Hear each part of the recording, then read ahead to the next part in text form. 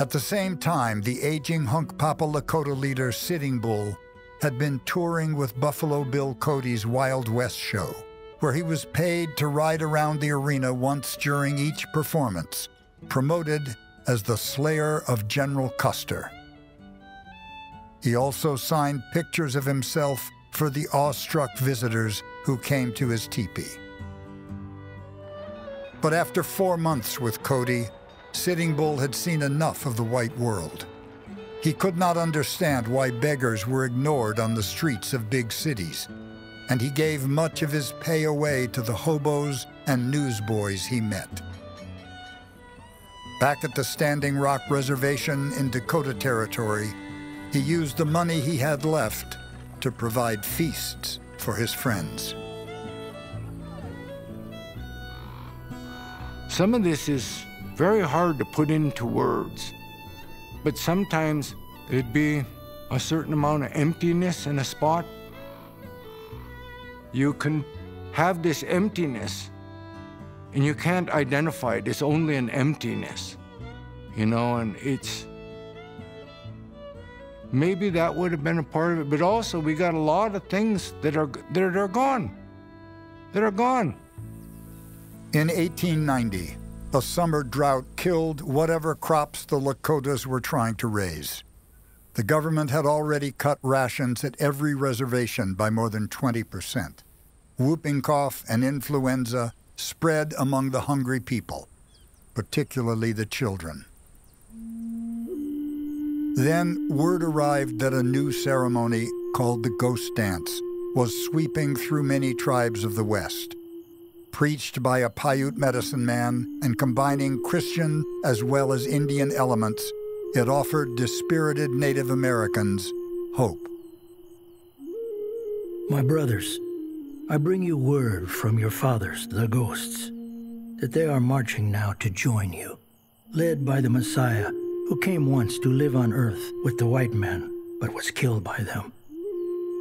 I bring to you the promise of the day in which there will be no white man to lay his hand on the bridle of an Indian's horse, when the red man of the prairie will rule the world. Wovoka. Wovoka's prophecy required men and women to purify themselves, give up alcohol, and forswear violence. Then they were to dance in a large circle, singing and calling upon the spirits of their ancestors. If they did, the ghost dancers believed, the whites would vanish and the buffalo would cover the plains again. Give me my arrows, they sang as they danced. The buffalo are coming. The buffalo are coming.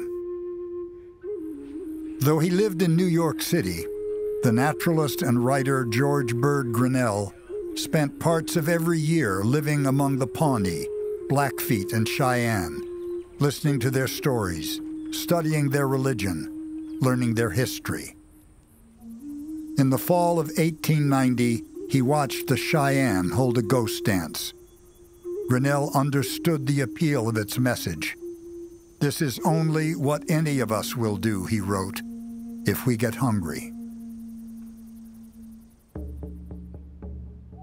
In the Lakotas adaptation of the ceremony, ghost dancers wore special shirts, said to be impervious to the white man's bullets.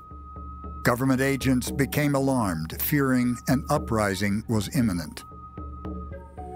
As a precautionary measure, Indian police at the Standing Rock Reservation were ordered to arrest the most prominent Lakota chief, Sitting Bull. When some of his followers resisted, a fight broke out. Both sides began firing, and a dozen people were killed. Sitting Bull was one of them. Several hundred Lakotas, flying a white flag, headed toward the Black Hills and planned to turn themselves over to the U.S. Army to settle things peaceably before more blood was shed.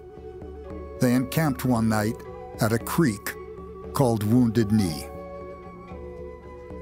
The next morning, December 29, 1890, soldiers armed with four devastating Hotchkiss guns encircled the camp and began confiscating the Indians' weapons. someone's gun went off. The soldiers opened fire.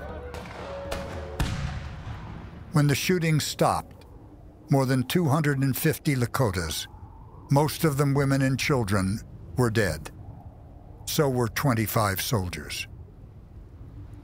What was they trying to do? They was trying to dance the ways back. They were praying.